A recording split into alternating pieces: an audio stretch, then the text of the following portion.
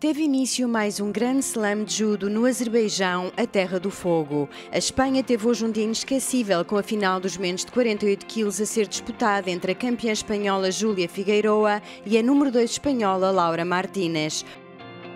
Uma final curta que culminou na vitória com o poderoso Osotogari de Laura Martínez, nossa mulher do dia. Esta foi a sua primeira medalha de ouro num grande slam.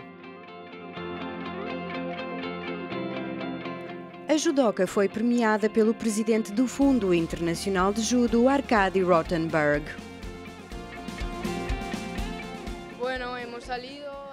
O primeiro ataque foi difícil para mim, a Júlia dominou com Mikata, mas no segundo ou terceiro, não me recordo exatamente, consegui pegar-lhe pelo braço esquerdo e executei o Osotogari.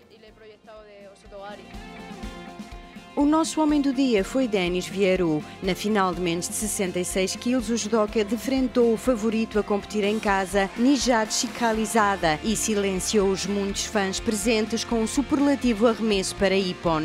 Este é o segundo título de Grande Slam da Moldávia este ano e no próximo Campeonato do Mundo, Denis Vieru é certamente um nome a não esquecer.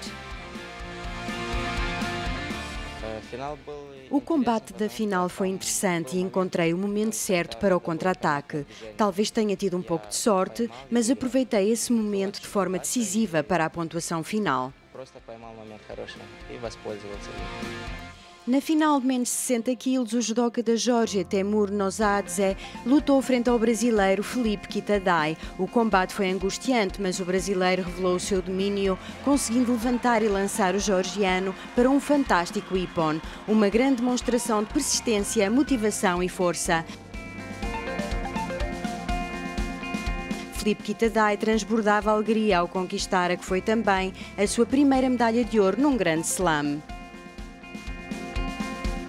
Em menos de 57 quilos, a atual campeã do mundo, Tsukasa Yoshida, lutou de forma incrível na final frente à brasileira, atual campeã olímpica, Rafaela Silva, mas esta última acabou por prevalecer nos últimos segundos do combate.